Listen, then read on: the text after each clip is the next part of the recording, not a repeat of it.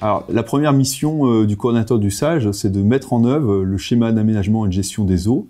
Euh, ce schéma d'aménagement est un document de planification euh, réglementaire qui vise au bon état de l'eau et des milieux aquatiques et à la satisfaction de l'ensemble des usagers de l'eau. La deuxième mission, du coup, est d'animer ce que l'on appelle la commission locale de l'eau, la clé, qui regroupe trois collèges, un collège d'élus, un collège d'usagers de l'eau et les services de l'État. Les enjeux du SAGE euh, sont euh, d'abord d'un point de vue euh, quantitatif, comment gérer l'eau à l'avenir pour que tout le monde en ait suffisamment pour ses activités. Et deuxième enjeu principal, c'est un enjeu qualitatif, préserver notamment sur la frange littorale la qualité bactériologique des eaux, s'assurer que les stations d'épuration des collectivités soient mises en conformité pour assurer cette bonne qualité de l'eau.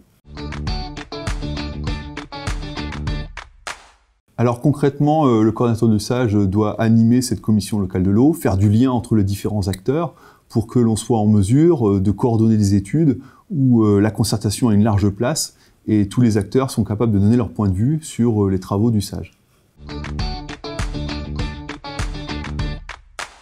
Les différents acteurs que l'on peut rencontrer sont les usagers de l'eau, que ce soit par exemple les propriétaires de moulins, les conchiliculteurs, les pêcheurs, les entreprises agroalimentaires.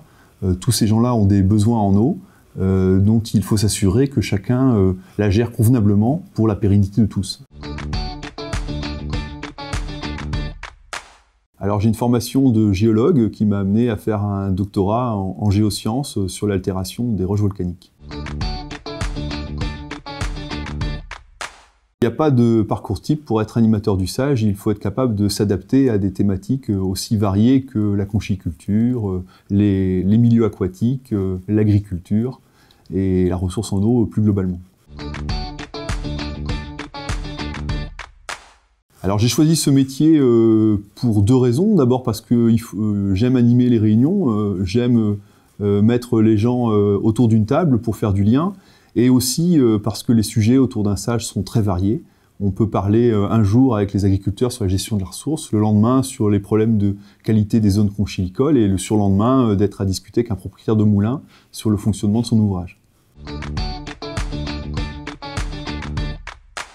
Oui, c'est possible. La directive cadre sur l'eau est une directive européenne et les districts de l'eau existent dans d'autres euh, régions euh, d'Europe et on peut très bien animer, c'est pas un sage, mais c'est un autre nom, mais ça, ça le fait dans d'autres pays, euh, la Grèce, la Belgique.